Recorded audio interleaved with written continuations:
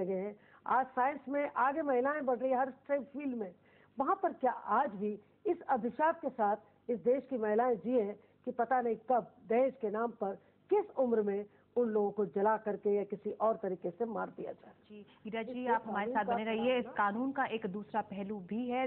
देश में दहेज का नासूर खत्म होने का नाम नहीं ले रहा इसलिए और कड़े कानून की वकालत की जा रही है। लेकिन दूसरी ओर एक तबका ऐसा भी है जो इस कानून का सताया हुआ है। उसका मानना है कि इस कानून का अक्सर गलत इस्तेमाल होता है।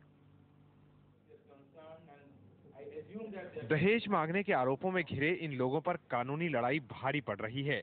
अमेरिका और ब्रिटेन जैसे देशों में जा बसे कई भारतीय अपनी पत्नियों से परेशान हैं। बहत्तर साल के आईएस सिरोही के बेटे नीरेन पर उनकी पत्नी ने शादी के चौदह साल बाद दहेज लेने का आरोप लगा दिया। नीरेन अमेरिका में परेशान है और यहाँ उनके पिता का आरोप है कि उनकी बहू किसी और से शादी करना चाहती थी, इसलिए उनके बेटे को फंसा रही है।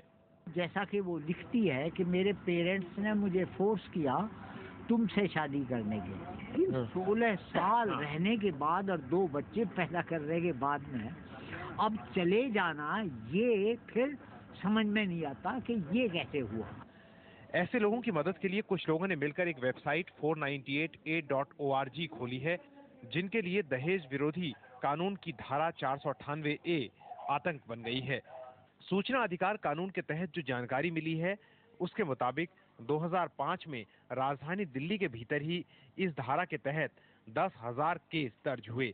हर केस में औसतन पाँच लोगों के खिलाफ शिकायत है और इस हिसाब से एक साल के भीतर ही पचास हज़ार लोग इस कानून की जद में आए हैं। पूरे देश की बात करें तो अट्ठावन हज़ार मामले दर्ज हुए हैं, यानी करीब तीन लाख लोग इस कानून की चपेट में हैं। दिक्कत यह है कि इस कानून में झूठे आरोपों से बचने के लिए कोई फौरी रास्ता आरोपी के पास नहीं होता।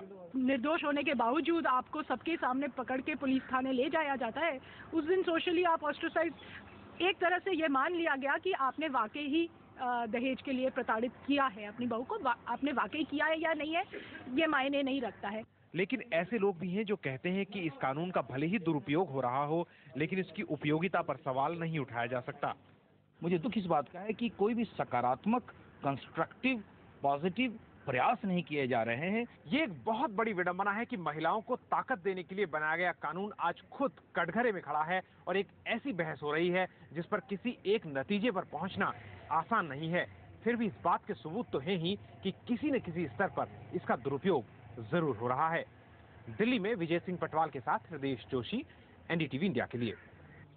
और दहेज के कानून पर हम आज चर्चा कर रहे हैं और इस वक्त हमारे साथ अब जुड़े हैं हमारे दिल्ली स्टूडियो में मौजूद हैं अनुपमा। सिंह अनुपमा आप मानती हैं हमारे देश में ये प्रथा अब भी चली आ रही है? सीधा सवाल इसका सीधा जवाब।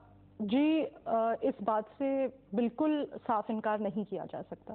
आ, ये बात सही है और हो सकता है कि दहेज ज़रूर अब भी हो रहा हो लिया जाता हो या मांगा जाता हो। लेकिन दो पहलू हैं इन बातों के। पहली बात यह है कि डेफिनेटली आज पढ़े पढ़े लिखे वर्ग में दहेज लिए जाने के केसेस ऑलमोस्ट नहीं हैं। दूसरी बात यह है कि जब दहेज मांगा जाता है इसमें आप ये नहीं कह सकते कि सिर्फ़ एक पार्टी गलत है। क्योंकि अगर ये प्रथा चल रही है तो ये इसलिए चल रही है क्योंकि जब दहेज मांगने वाले हैं तो दहेज देने वाले भी हैं। और जब डाउरी प्रोहिबिशन एक्ट क्लियरली कहता है ये कि आपको दोनों ही लोगों आ, को प्रोसिक्यूट करना चाहिए दहेज लेने वाले को भी और दहेज देने वाले को भी। क्यों है ऐसा कि आज तक एक भी दहेज देने वाला प्रोसिक्यूट नहीं हुआ है इस लॉ के अंतर्गत? मेरे मानने में अगर आप एक भी दहेज देने वाले इंसान को प्रोसिक्यूट करते हैं तो बहुत जल्द आप इस प्रथा को बिल्कुल मिटा सकेंगे। गिरिजा जी बहुत अहम मुद्दा यहाँ पर अनुपमा ने उठाया है कि दहेज देने वालों का क्या हम लेने वालों की बात लगातार करते रहते हैं लेकिन देने वालों को भी कटघरे में खड़ा किया जाना चाहिए? बहुत अच्छा बिल्कुल। मैं भी इसी पर आ रही थी। इसी एक्ट के सेक्शन थ्री में पहले से ही इस बात का प्रोविज़न है कि देने वाला दोनों के खिलाफ कार्रवाई का भी प्रोविज़न